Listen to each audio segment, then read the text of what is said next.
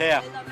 ტელეფონის უკან რო გაწევ რამოდენიმე დღეა მიმდინარეობს ზეწოლა ჩვენი საკრებულოს წევრზე ირაკლი ხურცკაიაზე აა მას პირდებიან რაღაცა პრობლემების მოგვარებას ძველი ბიჭების მეშვეობით.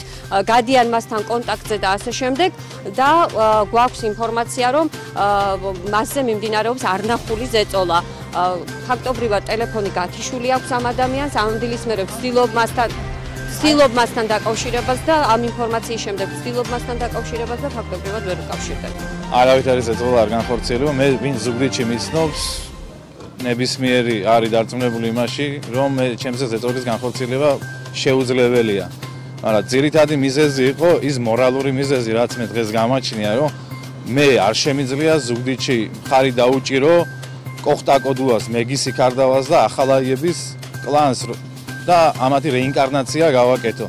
ამიტომ ამიტომ გავემიჟნე მე ამ პარტიას, იმიტომ რომ ვთვლი რომ ზუგდიდში ზუგდიდმა დაიმსახურა ბოლო-ბოლო რომ ხელისუფლებას ნორმალური იყოს და სიმშვიდეში ვიცხოვროთ ცოტა. ანუ მე საკრებულოს წევრი ვარ, ფრაქციის წევრი ვარ.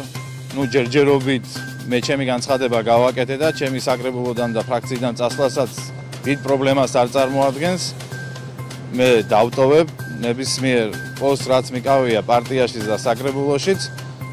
მაგრამ ცალსახად ეს იქნება რომ ჩემს მორალთან მე ვიქნები მართალი და მე ვიქნები ჩემს ხარდამჭერებთან მართალი ვინც მე გვერდში მიდგას და ამ არჩევნებზეც გვერდში მედგა მაგათანაც მართალი ვიქნები იმიტომ რომ ჩემ მე და ჩემი ხარდამჭერები არა ვართ ის ხალხი ვინც ნაციონალურ მოძრაობას ხარს დაუჭერს ჩემთან არის ჩემი თანამოაზრე რა თქმა უნდა მე ახლა კონსულტაციები არ გამივლია პარტიაში, მაგრამ აი სპონტანურად როგორც ვილაპარაკეთ, რა თქმა უნდა, მარტო არა ვარ.